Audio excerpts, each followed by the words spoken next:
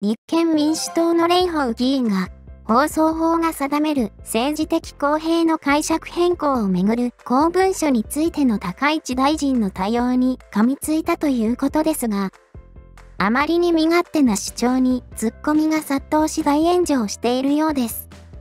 蓮舫議員が自身の SNS で主張した謎理論とは何か、また、そのように主張しながら、自分のことには甘い蓮舫氏など、ネットの反応と合わせて紹介していきます。ニュースの詳細。7日、立憲民主党の蓮舫議員が自身のツイッターを更新し、放送法が定める政治的公平の解釈をめぐり、立憲民主党の小西博之議員が、2日に国会で公表した文書について、総務省のホームページに記載された政治的公平に関する文書の公開について、と題した文書を引用し、当時、総務大臣として、省内の公文書管理責任者である高市早苗さんが、この公文書の自身に関する4ページだけはおかしいと言い、野党議員に立証せよというのには驚いた。まず、自身が捏造だといった根拠を示してください。と綴りました。さらに、自身のツイートを引用し、この問題は、捏造、議員辞職の問題にとどまりません。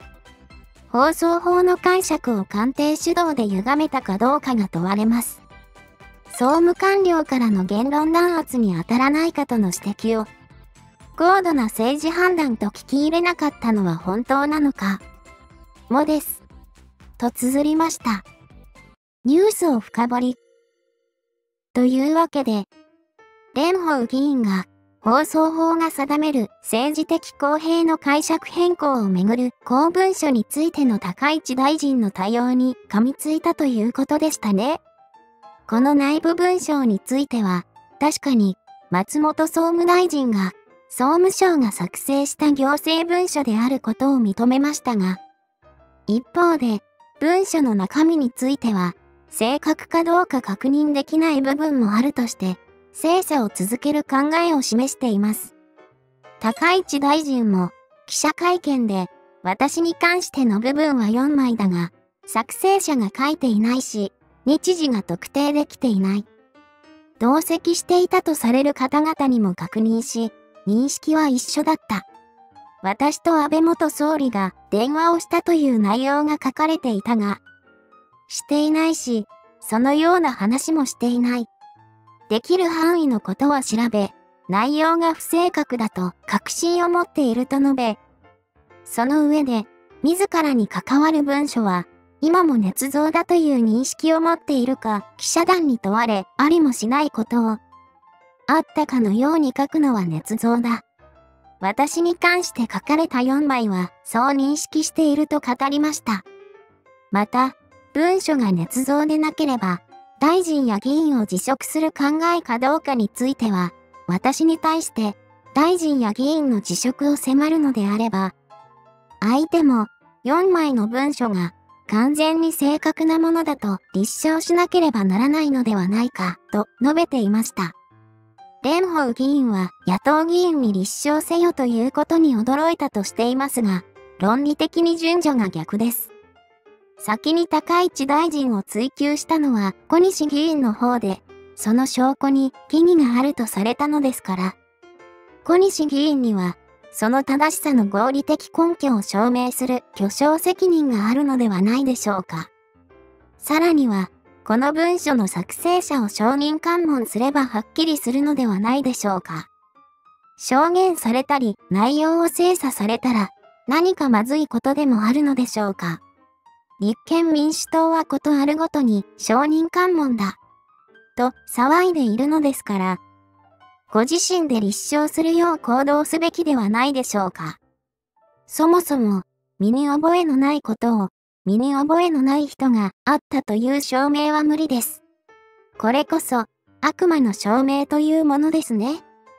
しかしながら、相変わらず、外野から難癖をつける蓮舫議員ですが、ご自身の国籍問題に関しては、日本国籍を取得し、台湾籍の放棄を宣言しています。私は、生まれた時から日本人です。台湾籍抜いてます。18歳で日本人を選びました、と述べていましたが、これらは、すべて事実に反しています。国籍法14条違反を知りつつ、虚偽答弁を重ね、未だ説明責任を果たさずに、説明責任などよく言えたものですね。ネットの反応をまとめましたのでご紹介します。あなたの感想もコメント欄に書いてくださいね。あと、チャンネル登録もぜひお願いします。出た出た悪魔の証明。こんなことに時間を費やすなんて不毛だよ。盛りかけの時も散々やったろ高市大臣はそんなこと言ってないって答弁されているんだよ。言ってないことの証明なんてできるわけないだろ？言ったって言ってるやつに言ったってことを証明させろよ。証明できるとは思えないけどね。その前に、あなたが二重国籍でない根拠を示してくださいよ。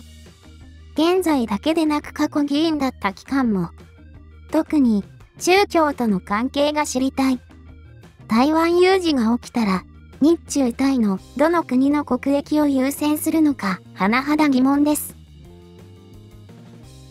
マスゴミに守られてると、何でもありですね。そろそろ大多数が気がつきますよ。何にも学習してない。どっちが立証すべきか。根本的にアホですね。驚いたのはこっちだわ。また悪魔の証明？あのさ、いい加減にせえよ。他人に疑惑を向けるなら、その根拠を示すのはおたくらやで。蓮舫が仕事中に隠れてスマホいじくってました。そんなことしてません。証拠出せ。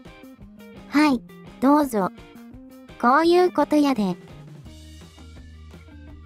例えば、蓮舫さんが都内の居酒屋で全裸になって迷惑をかけてましたという証言があったとして、蓮舫さんは、それがなかった証明をできますか？できませんよね。証明は常に、そのような事実があったとする側がしなければならないのです。それができないのなら、事実はなかったと扱われます。立憲の支持率の根源が何を言おうと意味はない。証明は立憲がしろ。できないことの押し付けを忙しい大臣にさせるな。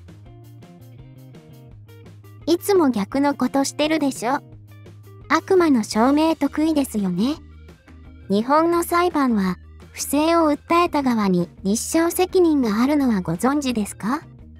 刑事裁判でも犯人ではなく検察側に立証責任があるのはご存知ですか？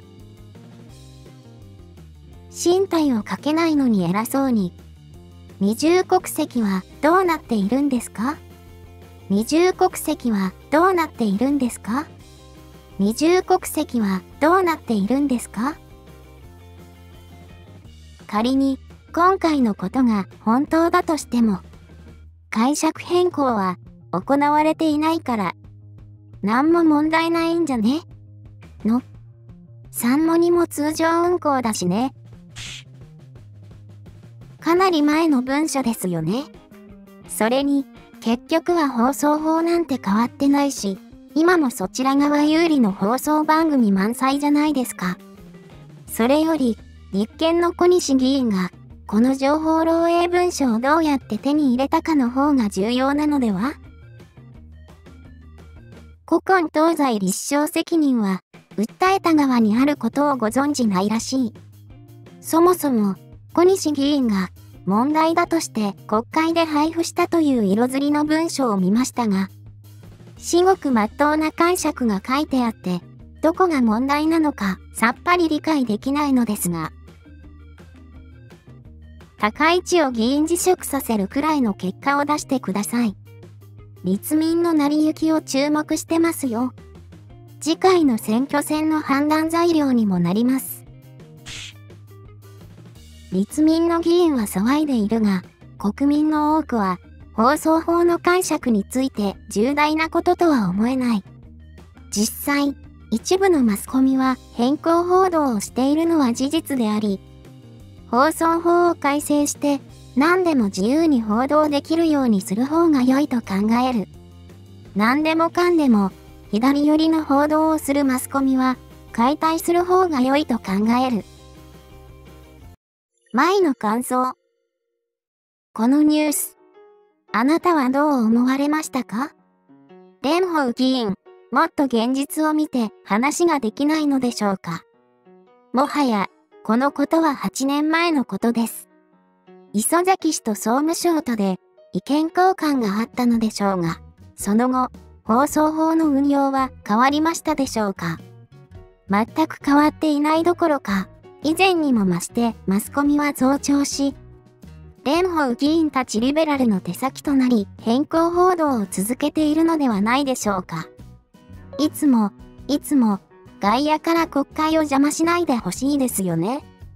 憲法改正とかやらなければならないことたくさんあるのです。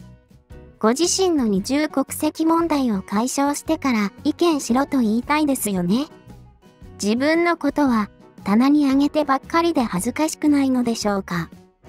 本当に抗がん無知の代表はあなたに決定。そう思っているのは私だけではないはずです。あなたはどう思われますか？あなたの感想、コメント欄にお待ちしております。政治の味方チャンネル、キャスターの舞です。ご視聴ありがとうございます。これを機に、こちらへの登録、よろしくお願いします。